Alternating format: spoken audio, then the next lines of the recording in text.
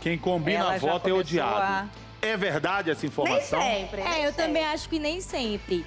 É, eu acho que tem que respeitar. A primeira regra do reality é você não ir pro paredão. Então, dependendo da situação, se você percebe que a é. maioria vai votar em alguém da casa, você entra no jogo. Então, eu acho que não é isso que define ser amado ou odiado aqui fora. Aham. Lei da Então, sobrevivência, né? É, é a Estamos na lei da sobrevivência sobrevivência. lá. Pensa em sair do paredão e vai no voto que todo mundo tá indo.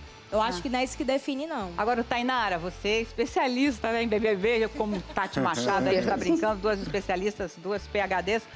Vem cá, a gente sabe que você gosta de BBB, a gente sabe que você já foi, inclusive, convidada para participar. É, tem o quê? Uns dois, três anos atrás.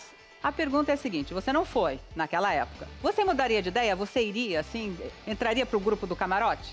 Olha, depende muito do, do, do pano que passariam pra mim. Porque ninguém é legal 24 horas por dia, ainda mais numa situação de pressão, com o povo enchendo o saco, muita gente diferente da sua personalidade. Então, é, é uma condição pra você pirar. E eu iria pirar no segundo dia já.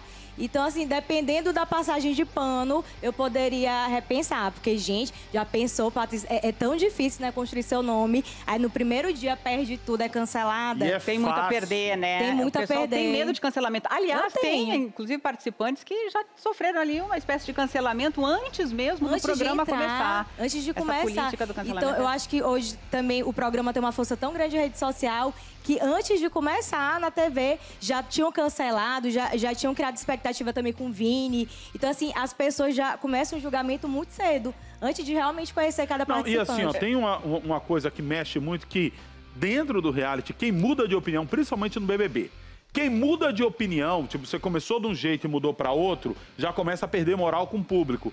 Só que aí é muito doido, porque, por exemplo, o Rodrigo, ele começou tendo uma opinião com relação a Nayara.